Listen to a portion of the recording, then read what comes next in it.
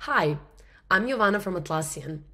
We are introducing RovoDev in automations, so you can use it to enforce organizational code quality standards across teams and repos, but also delegate repetitive tasks at scale. For this example, let's have a look at how we can set a trigger and tell RovoDev to enforce certain standards, making sure everyone is following them. For this, you'll need to be an admin of your Jira project. Go into space settings of your project. On the left hand side, choose automation.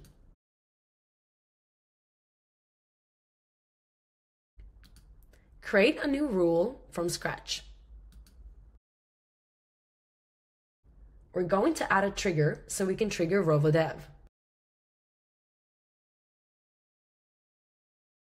So upon every pull request creation, Code Reviewer will run.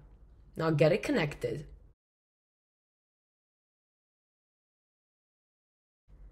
Add the list of repositories that you want to follow this rule.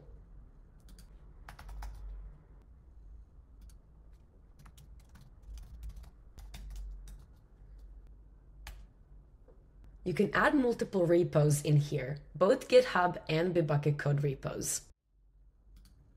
Add an action now.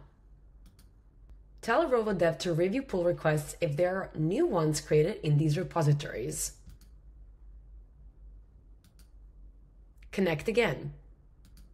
You need to tell RovoDev what are the exact standards that it needs to follow and monitor. And for that, use the prompt field to paste those instructions in. For this example, I prepared a prompt in advance. My instructions are going to be around how to avoid leaking sensitive data in our logging. Hit next.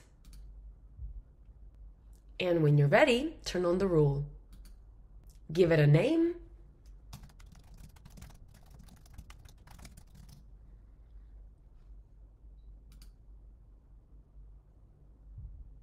Now let's have a look at what that looks like in the pull requests. An example I have here is clearly stating that I am logging some personal identifiable information and I shouldn't be doing that. You can see it was generated by A4J rule.